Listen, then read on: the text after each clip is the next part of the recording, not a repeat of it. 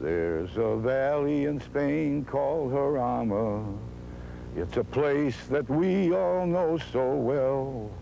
It was there that we fought for Spain's freedom, and most of our brave comrades fell.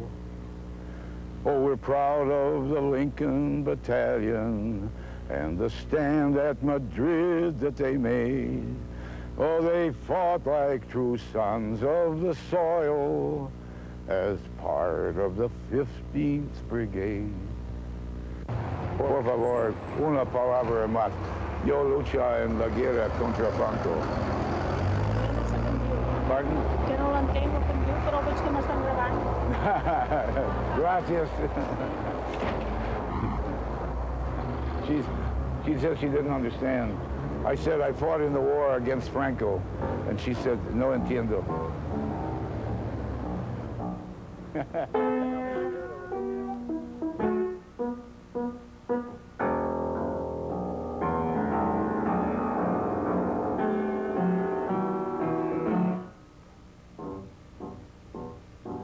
Far and wide as the eye can wander,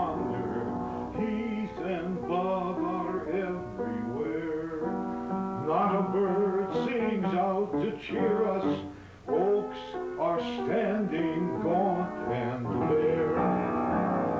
We are the bog soldiers, and we're marching with our spades full the bog. It was uh, the summer of 1934. I was involved with some people that were doing some political work, and I swear I don't know quite what it was. This is when I heard about what was going on in Germany with the Jews. And shortly later, shortly after that, I, I learned about the international brigades that were fighting against Hitler in Spain. These people were much more politically, you know, involved than I was.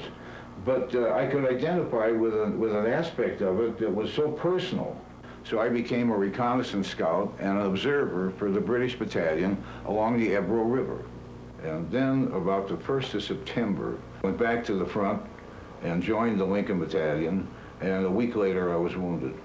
And uh, I was hit from over this way someplace. It, it came and hit my arm and uh, laterally. And I remember falling back and I saw this fountain of blood come up over my head and I hollered for a stretcher bearer, sanitario, sanitario. I was very concerned because it was my right hand and I was a pianist, but that the, the pain and the, uh, the trauma uh, over just blotted everything out.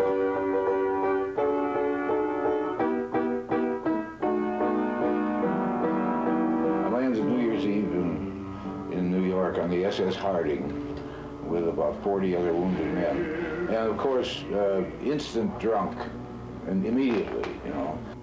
From 39 to 46 or 7, uh, a day didn't go by with, with I didn't drink uh, quite a bit, and sometimes an awful lot. I, I wonder how I went through it. After eight years of it, a friend of mine said, you're killing yourself with alcohol. Uh, this is better. And he introduced me to heroin. And uh, just about in time, too. Because with my appetite, appetites, you can, is there a plural for plural? If there is, those are my appetites.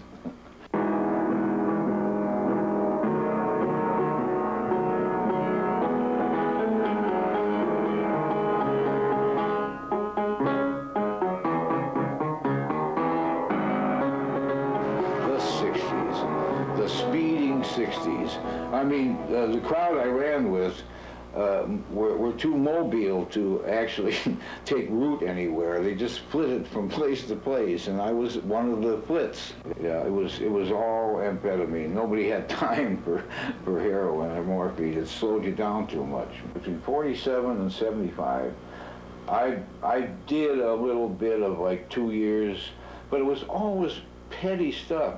I got busted twice and did time for possession of marijuana. I mean, all this time I'm using heroin and probably buying and selling it, but when I got busted, it was for pot. Think of it uh, this way. I'm into art and music and poetry and uh, all sorts of things, piano playing, singing. And 20 years go by and uh, I'm still doing what I can, but I realize I'm doing less and less of what I really want to do because most of my energy is going into getting the money and getting the dope and staying being high. I've been working on myself. It ended with this procedure. I'd bring the dope home and I'd say, now you're cooking the dope. I talk to myself while I'm doing it. Now you're tying up. Now you draw up the dope. And now there's the vein.